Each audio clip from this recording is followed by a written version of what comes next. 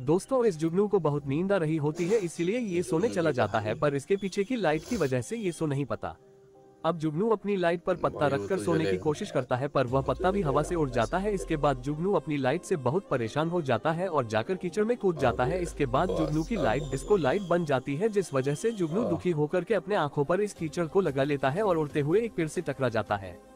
कुछ देर बाद जुगनू को एक आइडिया आता है और वह अपनी लाइट को पानी में डूबा देता है जिससे उसकी लाइट बंद हो जाती है तभी जुगनू वहाँ से जा रहा होता है तो उसे अंधेरे से बहुत ज़्यादा डर लगता है और वो लाइट को जलाने की बहुत कोशिश करता है पर लाइट नहीं जलती तभी जुगनू को चाँद की तरफ़ रोशनी दिखाई देती है और वह डर के मारे उड़ते हुए चाँद की तरफ़ जाने लगता है पर वह चाँद के पास पहुँचने तक बहुत ज़्यादा थक जाता है और ऊपर ही बेहोश हो जाता है जिस वजह से वह वापस धरती पर गिरने लगता है और जिस स्पीड से वह गिरता है तो उसकी लाइट में दोबारा से आग लग जाती है जिस वजह से जुगनू की लाइट दोबारा जल जाती है। अगर वीडियो अच्छी लगी हो तो बस एक लाइक करें हम समझ जाएँगे।